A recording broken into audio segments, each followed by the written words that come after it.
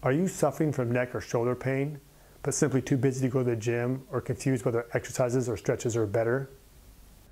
Hey everyone, this is Dr. Zach Reed here, Performance Sport and Spine, and today's video I'm going to go over four simple banded exercises that are proven to reduce shoulder and neck pain.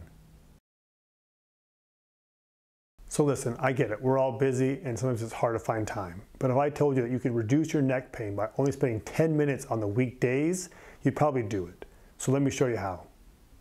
So for the dosage, for week one to week four, you're gonna do 12 to 15 reps, and then week five to week eight, you're gonna increase eight to 10 reps.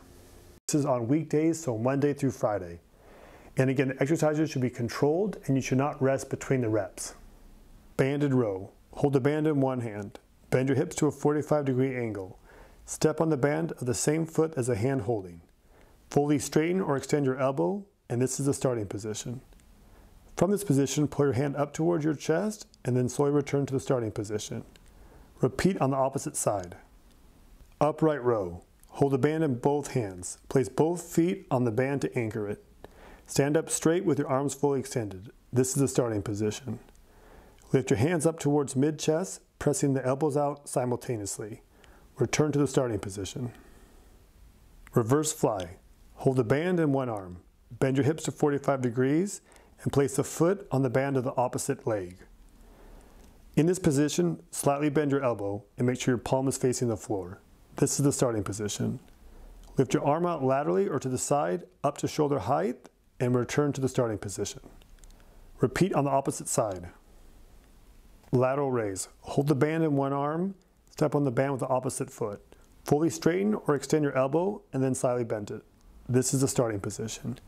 While keeping your palm face down laterally or to the side, raise your arm up to shoulder height and then return to the starting position. Repeat on the opposite side. So in case you want to progress this, there are several options. The first option would be to shorten the band in the starting position, as we demonstrate here. Another option would be to use a thicker band or one with more resistance.